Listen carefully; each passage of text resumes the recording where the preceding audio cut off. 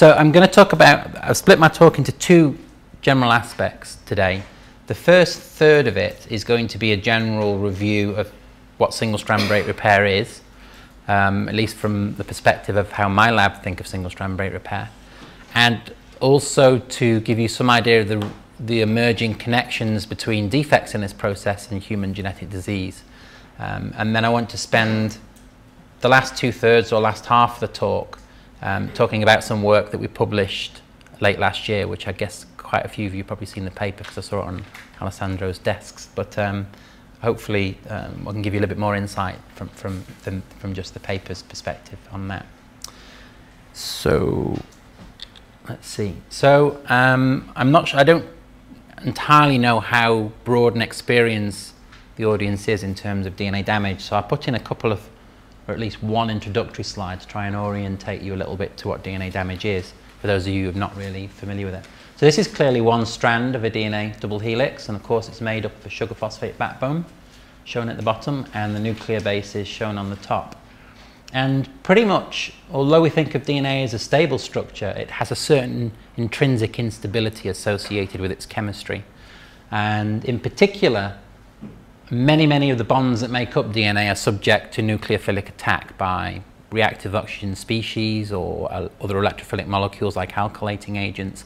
And even, even hydrolytic attack of some of the bonds also, is also a major problem to cells. So if the sugar phosphate backbone is damaged, and in particular it's, it's damaged most commonly by reactive oxygen molecules through hydrogen extraction at the different carbon positions, that can result in disintegration of the deoxyribose moiety and essentially then disintegration of the sugar phosphate backbone. And that's how most single strand breaks and actually double strand breaks arise in cells um, during normal uh, cellular metabolism, disintegration through um, oxidative attack of deoxyribose.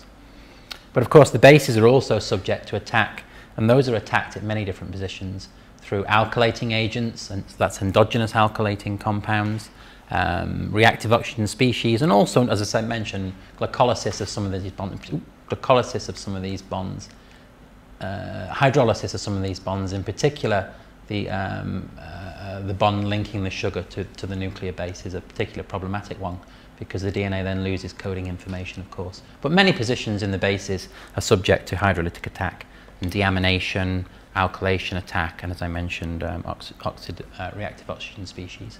So there are many, many types of damage going on in cells all of the time, and we, the number that you'll see in the literature is tens to hundreds of thousands of DNA damaging events per cell per day. So DNA repair really is, is, is um, required to maintain DNA in a stable constitution and is operative all of the time. And in particular, the pathway I'm going to talk about, which is single strand break repair, which repairs these kinds of structures, is, is very much a housekeeping process. It's occurring all of the time um, to maintain your chromosomes in an intact state. So this is my sort of cartoon of a single strand break. The two features to note are that typically single strand break is comprised of um, a break in which one nucleotide is missing so there's a missing base, a whole missing nucleotide from this region, and that has to be replaced. And the other thing to note about the chemistry is that the termini are often, are often damaged, and that's denoted by these little red blobs. So these little, little red blobs tell you that the chemistry that should be present at a DNA terminus, which is a 5' phosphate and a 3' hydroxyl, is actually absent. And there can be all kinds of different structures present at termini, and it's absolutely critical for a cell to repair those termini before the final repair events of gap filling, where you replace the missing information, and finally ligation can actually occur. And as you'll see, end processing, as we call it, is a major step in the single strand break repair process. If you don't repair these structures quickly, this is just the origin of breaks, as I mentioned, from damage to sugar, damage to bases, Damage to bases results in single strand breaks because um, damaged bases are processed by a repair pathway known as base excision repair, and single strand breaks are created as normal intermediates of that process.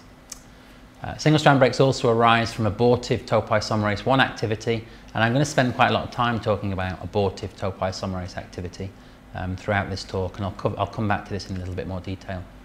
But if you don't repair single strand breaks quickly enough or in an appropriate fashion, they can have a variety of consequences to the cell.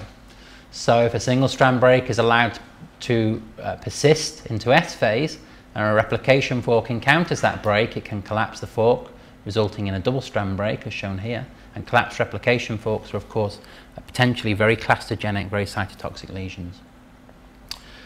In non-cycling cells, or even in cycling cells outside of S phase, single-strand breaks can also block the progression of RNA polymerases, and particularly single-strand breaks that have these damaged termini as denoted by red blobs. It's been shown by Paul Doetsch and others that RNA polymerase, polymerases really struggle to transcribe past a single-strand break that has chemically modified termini. So they block transcription, and this actually may have a really important consequence to cells in terms of the types of genetic disease that we're finding arise in individuals with defects in single-strand break repair.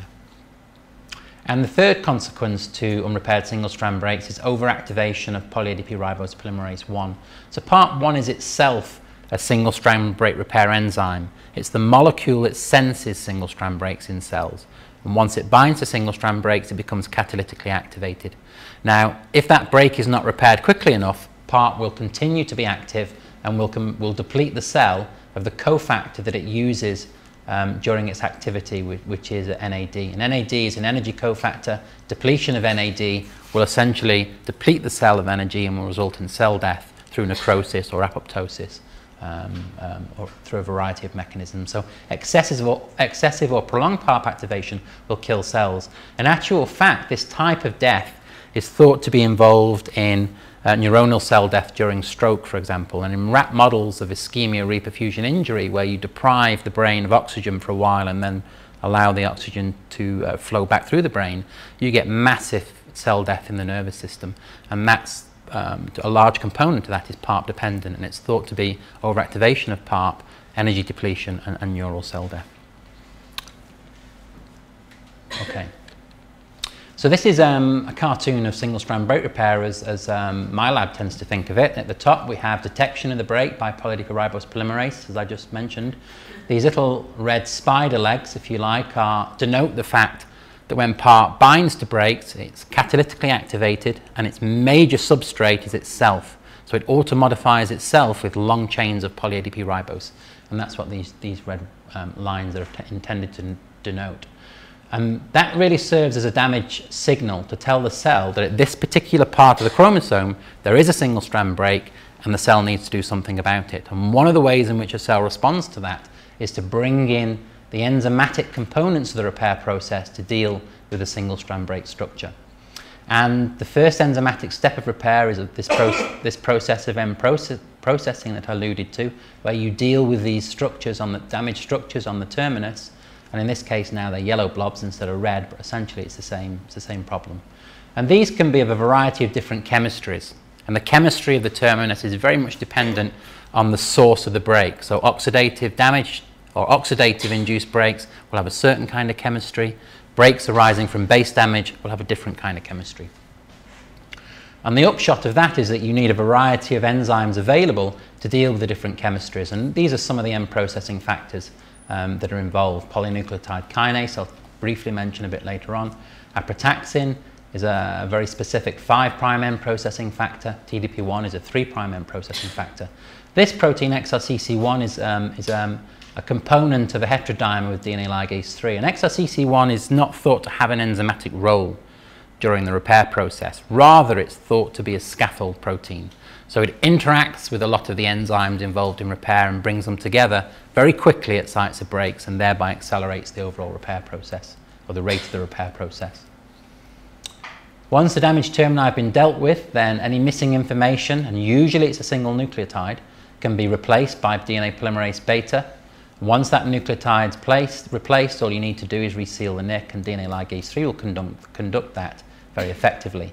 And this subpathway we call short patch repair and it's called short patch repair because you're replacing a single nucleotide, just the nucleotide that was missing uh, when the break was induced. There is 20% of the time, based on in vitro reactions, uh, a subpathway that's called long patch repair. In this process, instead of replacing just a single nucleotide, you replace multiple nucleotides. But because the break was only missing one nucleotide to begin with, by definition that means that you end up with strand displacement and then you need a nuclease called FEN1 to clip off the flap. So this is flap endonuclease 1. And we call this long patch repair because you're inserting multiple nucleotides, typically up to about 10, but it could possibly be more in cells. And that uses a different ligase. It uses ligase 1 to reseal the neck, and it utilizes the replicative polymerases pol delta epsilon uh, and PCNA. Probably serves a similar sort of scaffolding function during long patch repair as, as XRCC1 does during short patch repair. So this is an overview of the pathway.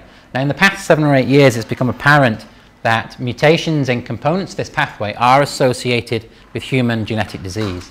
In particular, the end processing factor aprataxin is mutated in a disease called ataxia oculomotor apraxia 1.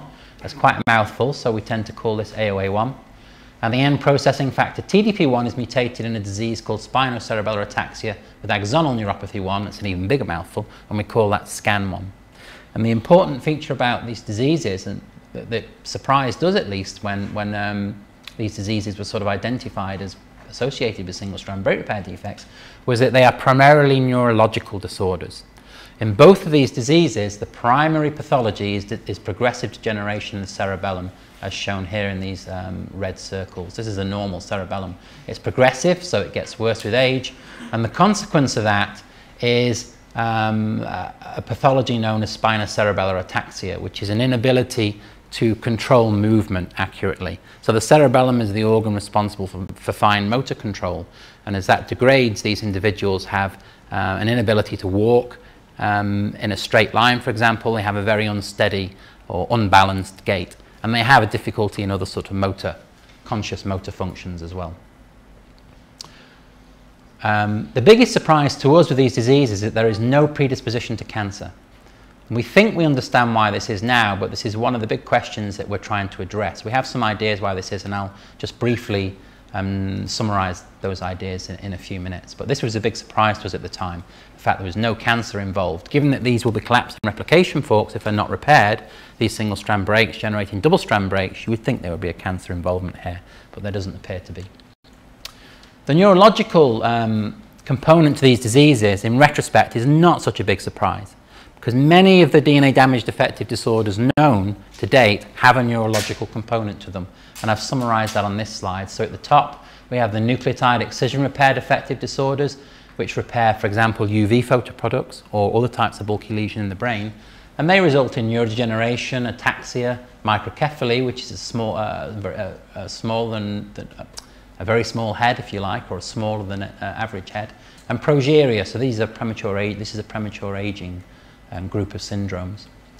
We have the two diseases I just mentioned, which we tend to think of as single-strand break repair defective, but I have highlighted in red here the, uh, the possibility that both of these disorders may have a double-strand break repair defect component too.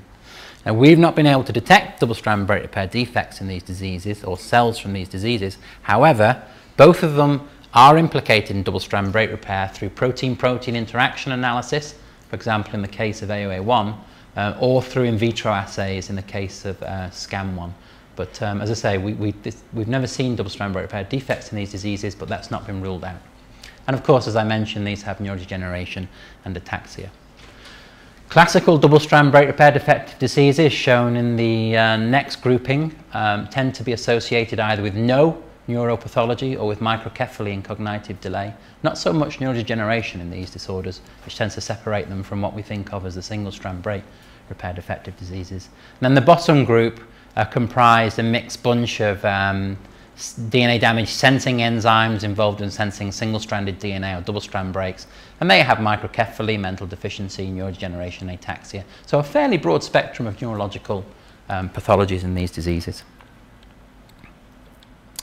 Uh, this is the only slide I'm really going to show you today as to why we think defects in single-strand break repair might impact on the nervous system, and we're trying to pursue these questions using in vivo mouse model systems at the moment. The nervous system, we think, is severely affected because there's very high levels of oxidative stress in the brain, and oxidative stress is a major way in which single-strand breaks arise, uh, even during normal cellular metabolism. The brain is thought to, to utilize 20% of inhaled oxygen, so that gives you some idea of how much oxidative metabolism is occurring. There are high levels of transcription in the brain, or perhaps more specifically, there's a very broad spectrum of transcripts required in neurons to keep neurons functional. And I mentioned at the beginning, one of the impacts of loss of single-strand break repair on a cell would be blockage to progressing RNA polymerases. So we think that unrepaired single-strand breaks have a potential to disrupt transcription in long-lived postmitotic neurons, particularly over a long period of, of time, resulting in, in neural cell death. And of course, neurons are classically uh, very limited in terms of their regenerative capacity.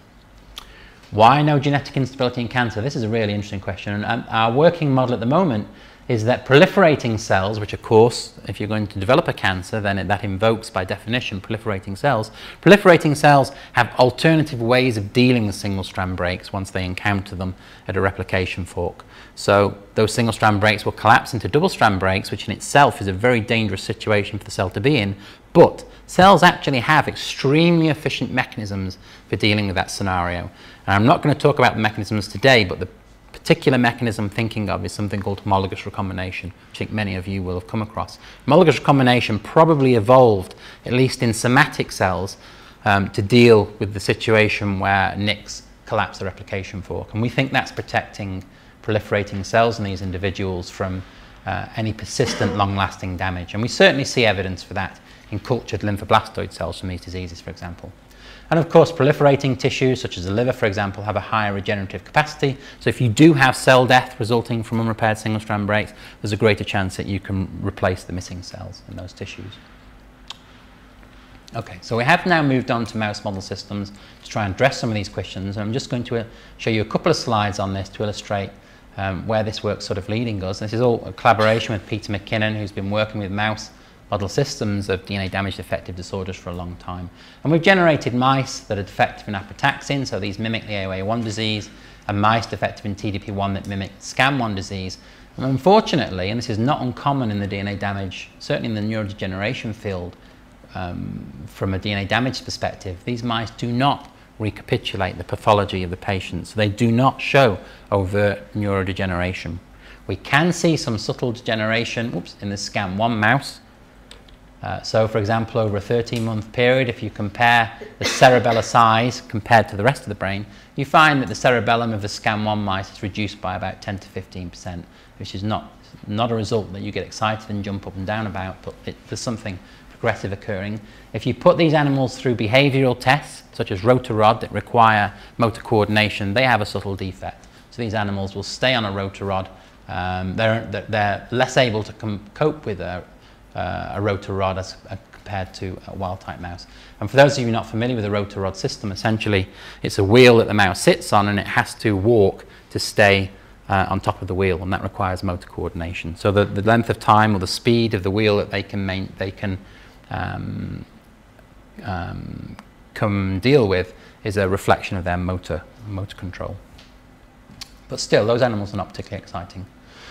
The reason we think that these animals don't really recapitulate the pathology in the diseases, it comes back to the fact that both of these proteins are involved in end processing steps. And in particular, both of these proteins deal with a very specific subset of damaged termini. Uh, and probably at physiological levels of damage, a very small subset of the types of, of breaks arising in cells. And we think that in mice, mice just do not live long enough for those types of damage to accumulate to, to start impacting on the nervous system in any, in any um, major way. So with Peter, we looked at a different model system, which was a mouse in which XRCC1 had been disrupted specifically in the brain. XRCC1 is required to accelerate all single-strand break repair events, irrespective of the type of damaged terminus. So it should have a much more penetrative, penetrative impact on the repair process. And certainly when you look at mice, XRCC1 mice with specific disruption um, in the brain, you find that they're smaller. So this is a neurological specific phenomena because it's only the brain in which the gene is knocked out, so they're smaller. Uh, they also have problems with motor coordination, so now this is a hanging wire test which tests the neuromuscular ability of the animal to hold on to a wire mesh and also to, um, to move around that wire mesh. So what you do is you put the mouse on the mesh, turn the mesh upside down, the mouse will try and crawl along it and move onto the top of the mesh. And so this is a way of uh, measuring the animal's motor coordination and, and, also neuromuscular ability. And these are severely affected. They also have some um, visible ataxia. Just when you watch the animals move, you can see that they have a sort of um, um, Charlie Chaplin or paddle type motion to their back legs, implying some sort of motor uh, co uh, coordination problem there as well. And they have a severe single strand break repair defect in, in their neurons, consistent with the idea that XRCC1 is a fundamental single strand break repair protein. So we have a radiation induced single strand breaks here in the wild type animal. Similar levels of breaks are induced, but the wild type animal will repair those very quickly within one to two hours. So this is a very fast process, but you can see it's much slower in the knockout animals. And hydrogen peroxide gives you a similar result. So the neurons in these animals are very defective in terms of their single strand break repair capacity. What struck us as particularly interesting was a phenotype that we'd not encountered before, um, which was a seizure phenotype. And I'm going to show a very short video now. The, the video, so these animals have periodic seizures and they're quite difficult to catch, and we were lucky to catch one on this video. The mice tend to live three or four months and then they die, probably because of these seizures become more frequent with time, although they're still quite difficult to catch. What you'll see on the video is this is a wild-type mouse. The camera will suddenly switch to the other end of the cage and you'll see an XRCC1 mouse having a seizure. They don't, he doesn't die from the seizure, but the mouse sort of sits quietly afterwards, and we think these get progressively worse. So that's the wild type, and now you can see the XRCC1 mouse having a seizure. This is some form of epilepsy, we think, but we don't have any electrophysiology to really define this at this stage. But you can see once the seizure is over, it tends, the mouse sort of sits quietly there.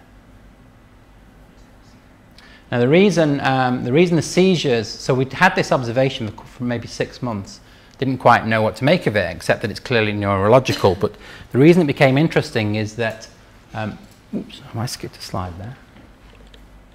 There we go. Is that um, we were um, approached by a scientist at Harvard called Christopher Walsh. And Christopher had been studying the genetic basis of a disease called microcephaly with early onset seizures. And what Christopher discovered was that these were due to mutations in polynucleotide kinase, which is one of those end processing factors that I showed you in the single strand break repair process. So it's this protein here. So in fact, we now have another disease associated with this machinery, which is, uh, which is microcephaly with early onset seizures. And um, we think that this disease has seizures because PNK, like XRCC1, has a much more penetrative role in single-strand break repair. A much higher proportion of breaks require PNK for this end processing step. In fact, 70% of all oxidative induced breaks require PNK activity to deal with these structures. So we think severe single-strand break repair defects uh, impact, in fact, on um, the uh, regions of the brain that, if defective, result in, in seizures, and that primarily is the hippocampus. So we've added this disease now sort of down here, somewhere between the single-strand break repair disorders and the double-strand break repair disorders. The, the microcephaly, we think, is, is, relates to the fact that PNK is also implicated in double-strand break repair. So maybe the double-strand break repair defect results in microcephaly, and the single strand, the severe single strand break repair defect results in the seizures. So what I want to move on to now is uh, away from the single strand break repair pathway as a whole and focus on this molecule TDP1, uh, which is mutated in uh, one of the neurological disorders I showed you earlier. And we, we're very interested in TDP1 because the type of activity this enzyme has uh, has, has not been identified in any, any other protein in the cell. And we were keen, given its important utility in preventing disease, we were, we were very keen to see if we could identify other activities of this type. And I'll, I'll show you in a minute what that activity is. So this is the type of repair process that TDP1 is involved in. It's a very specific type of single-strand break repair reaction because TDP1 is an end processing factor and it has a very specific type of damaged termini that it deals with. And I've tried to illustrate that here. So this is a single strand break that's arisen through the abortive activity of topoisomerase 1. Now topoisomerase 1 um, spends its entire life making transient single strand breaks in DNA to release torsional stress from chromosomes during replication and transcription, for example. So it releases supercoils and it can untangle um, DNA to a certain extent. It's involved in releasing torsional stress generated ahead of um, uh, moving RNA polymerases, for example. So when topoisomerase 1 relaxes DNA, it nicks DNA, becomes covalently attached to the 3' terminus, as shown here, through a phosphotyrosine linkage. Once the torsional stress is released, the topoisomerase itself will then reseal the break, and then the enzyme will float off and relax DNA in a different part of the chromosome. However, on, under certain conditions, uh, the topoisomerase can become trapped. Now, in the cell, this is, you tend to induce this kind of abortive activity by treating with camptothecin, which is a drug many of you, I'm sure those of you working on DNA damage will be familiar with. And camptothecin is also an anti-cancer, or at least derivatives of camptothecin are very important anti-cancer agents. And they kill tumour cells specifically by inhibiting the ability of topoisomerase 1 to religate those breaks once the torsional stress has been released. So they inhibit the last step of the topoisomerase 1 catalytic reaction. What that means is, is that now the cell has to deal with that break because the topoisomerase is not able to. So this type of structure, once it becomes abortive, is channeled into the single strand break repair machinery. And the first, one of the first steps of that repair process is to cleave this phosphotyrosine linkage so that you can take away the protein from the break. The very first step, however, is a proteolytic step using the proteasome. Proteasome recognizes this very large polypeptide on the end of DNA, covalently linked, and degrades most of it down to an as yet undetermined size. But it still leaves this phosphotyrosine linkage, so you still have a tyrosine link to the 3' end plus some unspecified length of peptide. And it's the job of TDP1 here to specifically cleave this phosphotyrosine link. And it does that in a very neat hydrolytic fashion and essentially then leaves a break that carries a 3' phosphate and a 5' hydroxyl.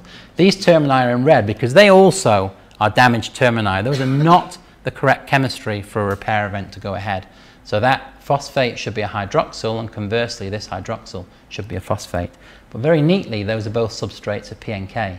So PNK has a phosphatase activity that will convert this 3' end to a hydroxyl and it has a 5' DNA kinase activity that'll convert this hydroxyl to a phosphate. And PNK is actually this protein I was just talking about that's mutated in um, the seizure syndrome. And this is a multi-protein complex, we think. Following, once end processing is completed by TDP1 and PNK, then you just need ligase 3 to reseal this nick. So this is a very fast, very effective reaction. It's occurring all the time. Well, wherever topoisomerase reactions become abortive, this is occurring. But TDP1 was the only tyrosyl phosphodiesterase identified in cells. And we were, for a variety of reasons I'm not going to go into for time reasons, we were very keen to investigate whether cells possess other types of tyrosyl phosphodiesterase activity, in particular whether there's another enzyme activity that might be able to compensate for the loss of TDP1. And this was the work of um, Felipe Cortes Ledesma in my lab, a Spanish postdoc who's now got his own lab back in Sevilla, and uh, Sherif El Khamisy, who's now got also got his own lab actually at the Genome Center. And the question was, do human cells possess possess other tyrosyl phosphodiesterases. So Felipe went about answering this question using his favorite model organism, which is budding yeast. And what Felipe used was a, a well-established budding yeast strain that lacks the yeast homologue of TDP1, but it also lacks a nuclease called RAD1. Now you don't need to worry about what RAD1 is. In budding yeast, RAD1 is a redundant factor with TDP1, so you need to mutate both of these genes to make those yeast sensitive to topoisomerase 1 associated damage. And the way we're inducing topoisomerase 1 associated damage here is using camptothecin. So you can see the strain in red is hypersensitive to camptothecin. So these are dilution series. So this is a, each of these is a tenfold dilution of the previous one. And we're look, you're looking at the growth of budding yeast on, on plates. So hypersensitivity to camptothecin in the mutant strain. So the question Felipe asked was very simple. He took a human cDNA library and asked if we introduce that library into this strain, are there any proteins in a human cDNA library or genes in a human cDNA library that can compensate for the loss of TDP1 and restore camptothecin resistance? And he identified six clones that restored this strain to wild-type resistance to camptothecin, three of which were human TDP1, which makes sense because it's essentially the human equivalent of the gene mutated in the budding yeast uh, the budding yeast gene that's mutated in that strain. But the other, the other three were far more interesting, and they were a, a human protein that was known, that had been identified and described in the literature as TTRAP. And if you look at the literature, um, at, at, this, at the time that we pulled this out of the library, um, then there was a real sort of mixed bag of publications describing the function of this protein, none of which was particularly exciting from a DNA damage repair perspective. So for example, the name comes from TRAF and TNF receptor associated protein. So TRAF interacts with the uh, TNF receptor CD40 and the, and the CD40 interacting factor TRAF6. It, it, impinges on NF-kappa B signaling and transcriptional regulation if you overexpress it. interacts with ETS1 transcription factor if you overexpress it.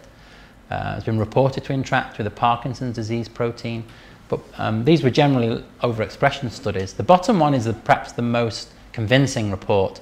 And in zebrafish, if you knock down T-trap, it has an embryonic phenotype. It disrupts um, left-right axis um, um, axis determination during embryonic development. But the molecular function of the protein was unknown. So as I say, this was not particularly exciting from a DNA repair perspective, but when you looked at the structure of the protein, it looked a lot more interesting because two-thirds of T-trap is comprised of a phosphodiesterase domain.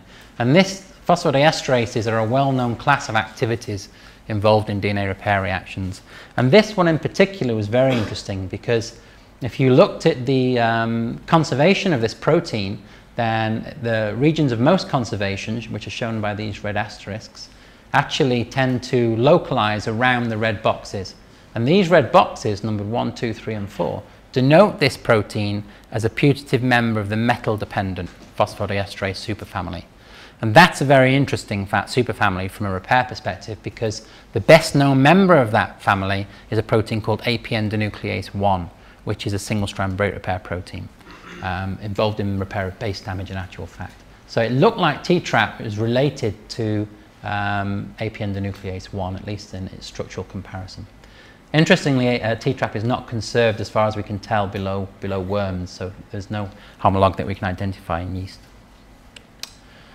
So the, the next question Felipe asked was, is the phosphodiesterase domain important for T-trap's ability to complement a TDP1 defective yeast?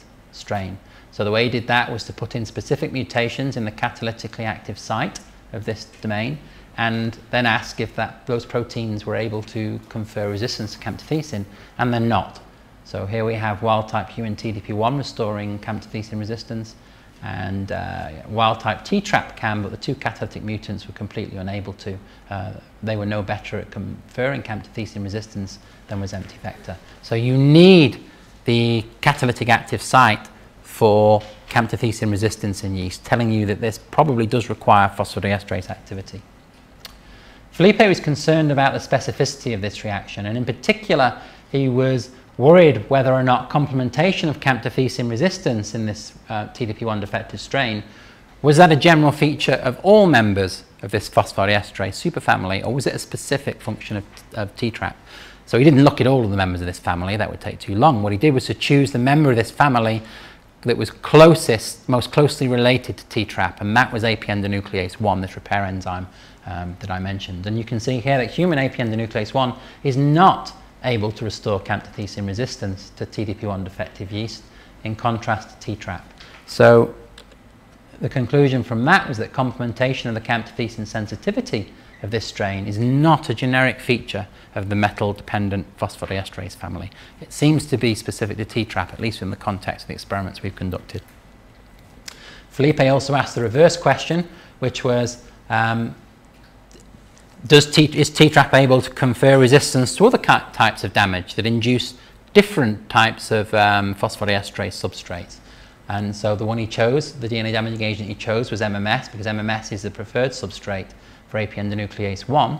whereas APN denuclease 1 can restore resistance to MMS in an, in an APN denuclease defective yeast strain, so the, each of these genes is a, a, gene implicated in the repair of um, MMS-induced damage. You can see APN denuclease will restore that, but T-trap will not. So the converse is true. So T-trap um, is not able to repair other types of phosphodiesterase substrates. It appears to be specific to top 1 damage. So the real important question then was, does T-trap display 3' tyrosyl phosphodiesterase activity in vitro? So can it do the same job that TDP1 does in vitro? And to test that, Felipe generated three proteins, human TDP1 as a positive control, T-trap, which is the test protein, and APN denuclease as a negative control.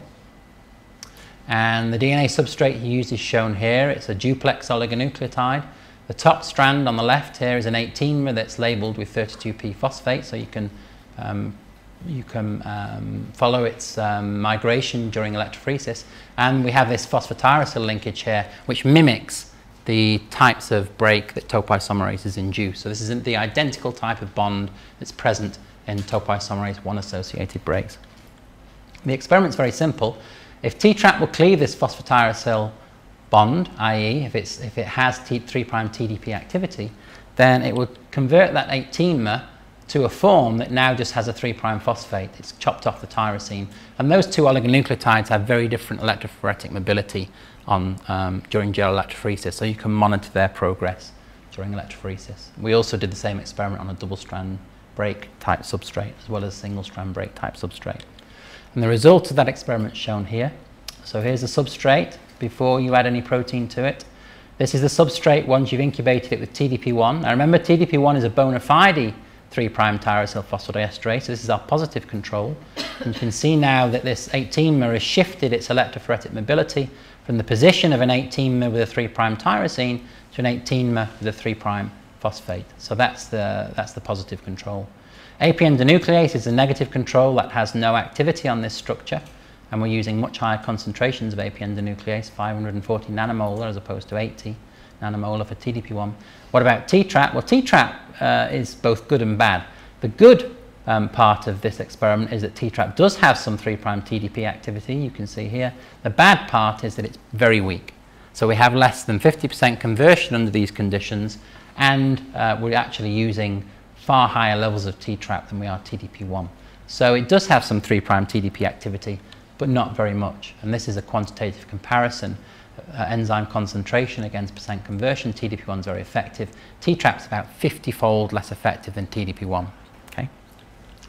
But that activity is due to T-trap. It's not an E. coli contaminant because the catalytic mutant T-trap doesn't have this activity. So our conclusion from that work was that T-trap does possess 3' TDP activity in vitro, but it's weak. But we think that weak activity accounts for why we recovered this protein in our yeast screen in the first place.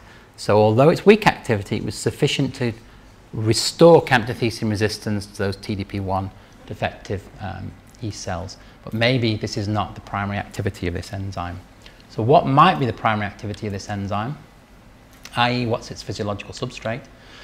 Well, there are multiple topoisomerases in cells, and because of the results with um, our in vitro experiments and the fact that the complementation in the yeast seemed to be specific to topoisomerase damage, we were particularly interested in the possibility of um, its true substrate being some other type of abortive topoisomerase structure.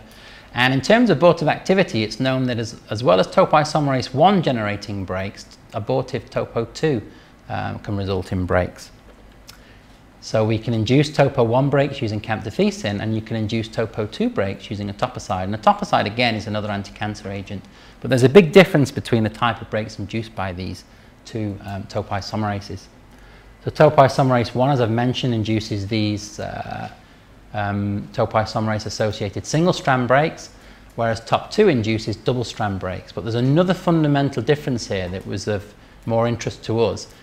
Whereas TOP1 generates a phosphotyrosyl linkage at the 3' end of a break, TOP2 generates a phosphotyrosyl linkage at the 5' end of a break, a double strand break in this case. So it's exactly the same type of bonds, phosphotyrosyl, but it's on the different terminus.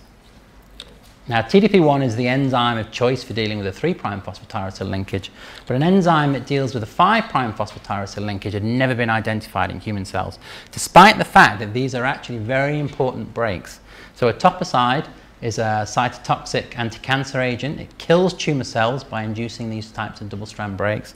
It's also very clastogenic. So one of the problems with a etoposide treatment for treating cancers is the induction of secondary leukemias.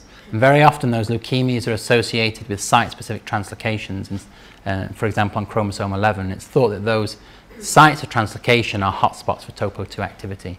So these breaks are both clastogenic and cytotoxic but no known enzyme has been identified for cleaving these phosphotyrosyl linkages.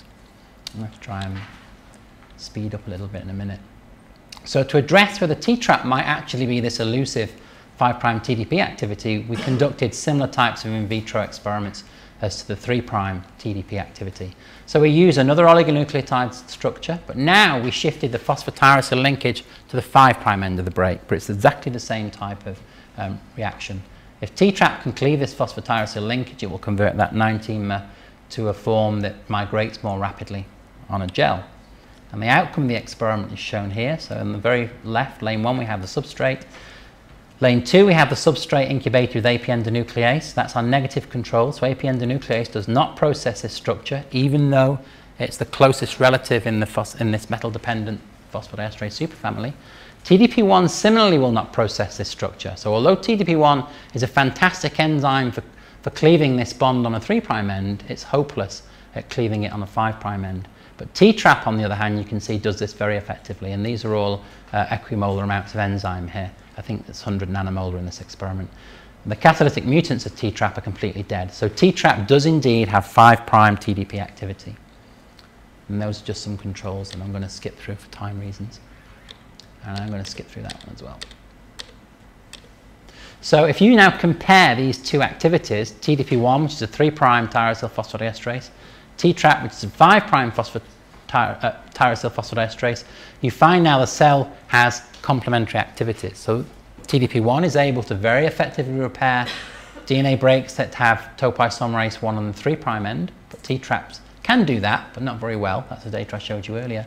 But if you now flip to a 5' terminus with a topoisomerase trapped on it, then T-trap can do that almost as well as TDP1 does a 3' terminus. But TDP1 on this substrate is dead. So together, TDP1 and T-trap provide the cell with the full complement of enzymes needed to remove topoisomerases from 5' or 3' termini. Okay. So does T-trap function in um, DNA repair in vivo? I've got maybe five more slides before I finish just illustrating this. Yeah, but an hour's pushing it. I don't want to go over an hour. You'll all be asleep. Um, so the first experiment we tried to see if T-trap was actually going to sites of damage and involved in repairing cells was a, was a standard one in the field now, which is to GFP tag the protein and then drive into the cell a UVA laser, a stripe of UVA laser damage, and that's what this green stripe is here, in essence. Uh, and what we're putting there is using a laser to introduce oxidative damage in a very defined stripe and then you can look at recruitment of different proteins to that site of damage. And if a protein goes there, it generally implies a protein's involved in, in either detecting that damage or repairing that damage. And you can see that T-trap does go to this um, stripe, but it goes there quite weakly. Not, if this was XRCC1, for example, which is that core component of single-strand break repair, all of this green signal would coalesce into that stripe, but only a small amount of T-traps going there. And we think that's because UVA laser, which is a form of oxidative damage, is not very good at inducing topoisomerase 2 um, type breaks. It can induce those breaks, but it does it very indirectly by, by uh, effectively putting in oxidative lesions in close proximity to sites of topo 2 activity. And that's actually another way of trapping topoisomerases. They don't like to conduct their catalytic activity close to other lesions because it actually uh, results in blocking or inhibiting the topoisomerase ligation activity. So we think these is quite a weak stripe because only a small amount of the damage induced here is actually topoisomerase 2 associated. Uh, you'll see there's these green blobs and we always find T-trap in these and it turns out these are PML bodies. If any of you are interested in PML bodies, we can talk about that afterwards. So the upshot of this experiment is that it does look like T-trap goes to sites of damage, at least. If we now take human cells, in this case it's a lung carcinoma cell, and knock down T-trap stably with a P super construct, so this is the T-trap band here. This is the wild type um, cell line or the control knockdown if you like. This is a non-specific band on top and XRCC on top. So these both serve as loading controls. This knockdown is about 80%, we think between 80 and 90%. If you now look at the sensitivity of these cells to different DNA damaging agents, they're not sensitive to camptothecin. Well, that makes sense because I've shown you already that uh, T-trap is actually not very good at repairing 3' phosphotyrosine linkages, which is the type of linkage put in by camptothecin, because camptothecin inhibits topo1. It is very sensitive, well, it's sensitive to a etoposide, so that makes sense because a etoposide is the way that you specifically induce topo2 associated double strand breaks, so that makes sense. It's not sensitive to MMS, an alkylating agent. This puts in damage that's a substrate for AP endonuclease, that makes sense because AP endonuclease has a very different substrate um, spectrum to T-trap. So the sensitivity profile fits with the in vitro data. If we measure double strand breaks directly in these cells using uh, gamma H2AX assays, so uh, this histone variant H2AX becomes phosphorylated at sites of double strand breaks, and there are antibodies that can pick up those phosphorylated histone sites very effectively. And you can monitor double-strand break repair by counting um, foci of gamma H2AX. And if those of you here for Penny's talk, I think Penny gave a talk recently, Penny will have used these assays quite um, um, for, for, for most of her work in actual fact, so you'll have encountered these. So if we use gamma H2AX as an indirect measure of double-strand break repair, you can see that the um, mock knockdown in the open bars and the knockdown in the black bars having similar levels of damage induced by gamma ray, this is in G1, but you can see whereas the wild type cells repair quite quickly, there's delayed repair in the uh, T-trap knockdown, and that's true in G2 as well. So there doesn't seem to be a cell cycle specificity to this. But we can see a defect in double-strand break repair using gamma H2AX as a marker. Um, so that was all published. The next two slides show some unpublished work that we've gone on to pursue now. So we're obviously interested in making knockout systems instead of knockdown systems. And we've done this in two ways. We've, made, we've got the knockout mouse now, but we, we're still we're just making the mess from that to do some cellular analyses. But in advance of that, we, did a knock, we made a knockout in chicken DT40 cells. And these are very good cells for making single and double gene deletions because they, they have high rates of targeting um, um, frequencies. So we can make knockouts relatively easily. Uh, T-trap, it turns out, is on chromosome 2 in chicken cells. So and that means you have to knock out three alleles because there are three copies of chromosome 2, which makes it a bit more problematic, but it's still not too difficult and this just the southern blot showing the knockout was successful. But the important data is shown on here, which is now that when you look at the etoposide sensitivity of a complete T-trap knockout, there's exquisite sensitivity. So there's down to three orders of magnitude cell kill here in the knockout, very little cell kill in the wild type. We have two controls here, wild type with all three wild type alleles and one where we just have one um, intact allele remaining, but you can see the etoposide is only killing the knockout. No sensitivity to camptothecin, again in agreement with the absence of significant activity of this protein um, on top 1 lesions, at least in mammalian cells, probably because TDP1 is there. Okay, so the conclusions then are that human cells do contain an efficient and specific 5' tyrosine phosphodiesterase, and it's called TTRAP. These enzymes are complementary phosphodiesterases, so together they provide the cell with the capacity to take off trapped topoisomerase from either a 3' or a 5' terminus. And that's really important because top 1 and top 2 um, will be generating these kinds of abortive lesions at a certain frequency uh, all of the time. So it's not just when you give them camptothecin or etoposide, these will be arising at a certain frequency of all topoisomerase events.